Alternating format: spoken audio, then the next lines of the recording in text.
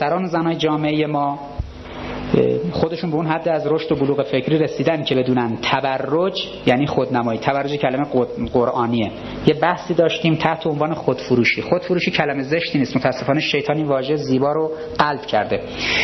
سه نوع خودفروشی داریم. خودفروشی به خود همین که میگن گل نرگس نارسیسیزم. ناراسیس و نرگس و نرجس خودشو می‌دونید که داستانشو خودشو تو آب می‌دید و عاشق خودش شده بود. خودش رو به خودش میفروخت. نوع دوم خودفروشی خودفروشی به غیره. این که بعضیا قطعات بدنشون رو میفروشن مو و کلیه و خون و بعضیا نیروی کار میفروشن. این ورزشکارا کارگرا صبح تا شب میرن کار می‌کنن عضله میفروشن تا پولی بگیرن. گروه سوم هنجر فروشن.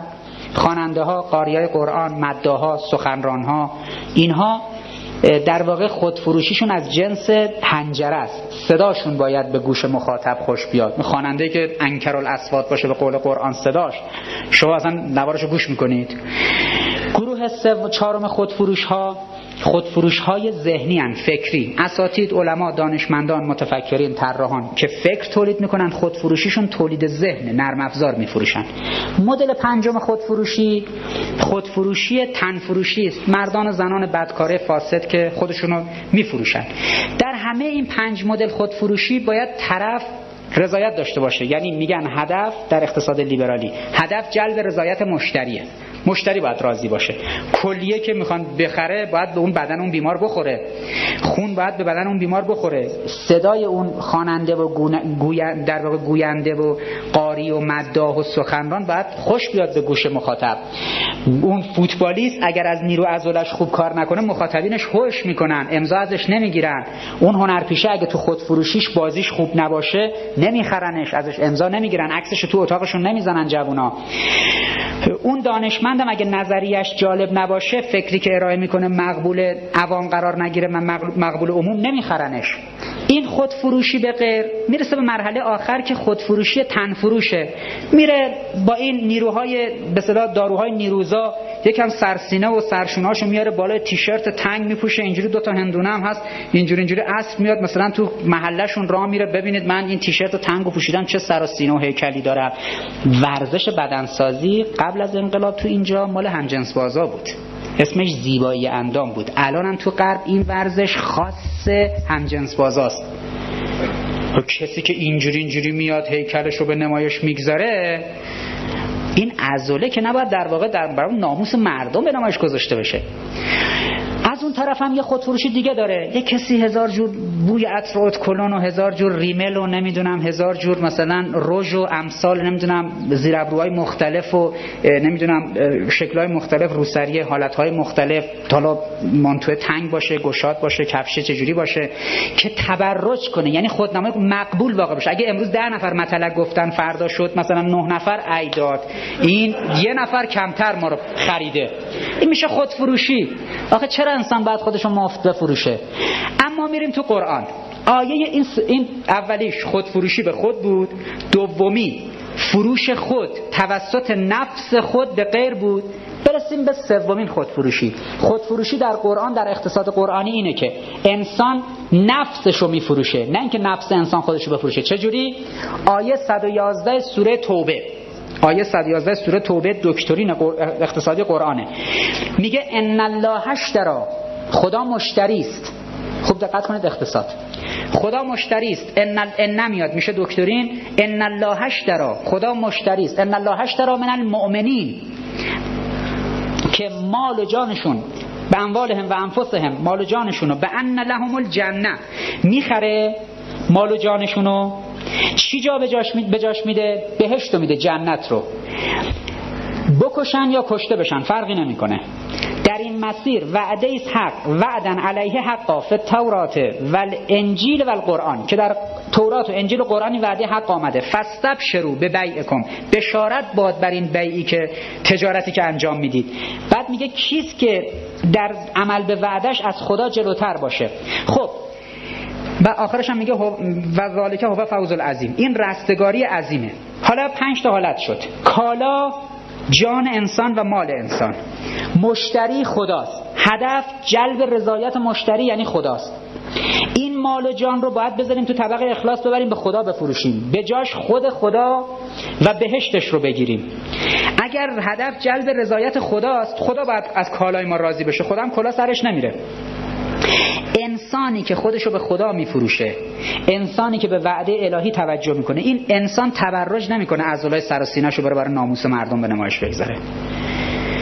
اون خانومی که در خودفروشی خودشو به خدا میفروشه. خودش میره نفسش یعنی مال و جانشو می‌گیره کف دستش به خدا میفروشه. اما انسانی که نفسش قلاده می‌زنه گردن خودش می‌بره خودشو سر بازار خودفروشی به دیگران میفروشه. این این فوتبالیستا خواننده ها سخنران ها استادا علما همه ما خودفروشیم دیگه. انسان یک هنر بیشتر را اونم خودفروشی. تلاشی که صبح تا شب همه می‌کنن همه این که می‌خوان مقبول دیگران واقع بشن و خریده بشن. اما چه خوب که یک انسانی خودش رو به خدا بفروشه. حافظ میفرماد. در کوی ما شکست دلی می‌خرند و بس. بازار خود فروشی از آن کوی دیگر است از آن سوی دیگر است. دختر جامعه ما پسر جامعه ما نمی‌خواد نمی‌خواد کسی بهش بگه هجاب بگیم آقا تو ارزشت اینه. از در خونه اومدی بیرون شیطان کمین زده ببین خود پسره ببینه تو رو مثلا خوشش بیاد. آقا ما مقبول واقع شدیم. پسره میاد بیرون مثلا با غرور را میره. زمینه که نمی‌تونی شخ بزنی. فرض قرآنه. چنان با تکبر را میری تو خرامان خرامان انگار می‌خواد زمین شخ بزنید. تواضع فروتنی. جان و مالمون رو بگیریم کف دستمون بریم در میدان آزادی به خود خدا بفروشیم. به بالاترین قیمت.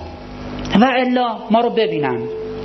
حالا فکر کردید مثلا به زور بیایم قانون بذاریم چادر و حجاب و مغنه و اینا بعد طرف نمیره مثلا فرصت پیدا کنه بذاره کنار فسق و فجور کنه.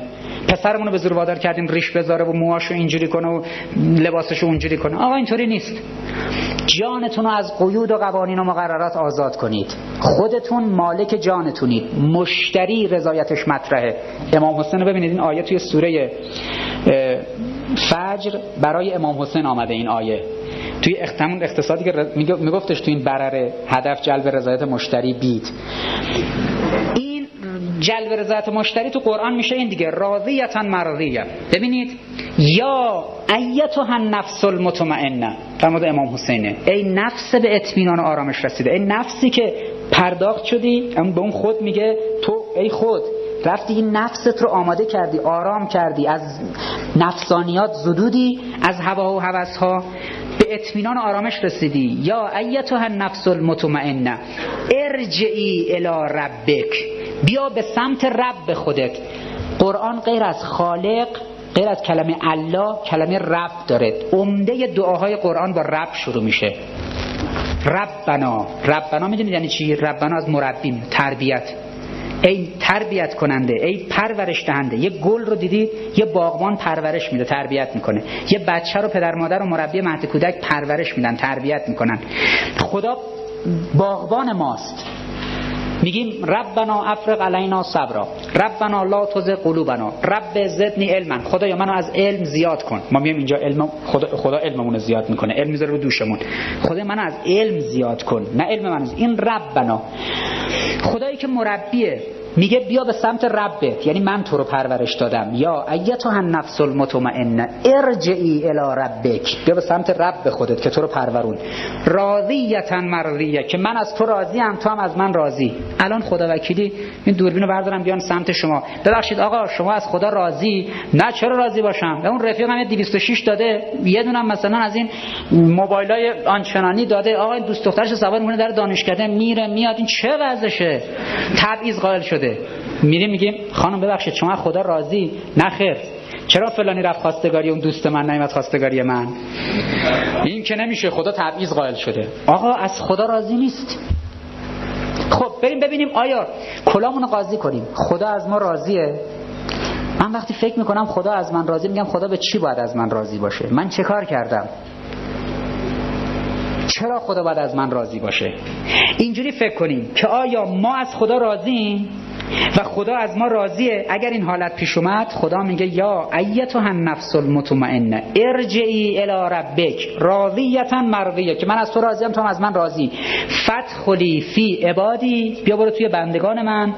ودخلی جنتی که قول داده بودم که مال جانتو می‌خرم. ان الله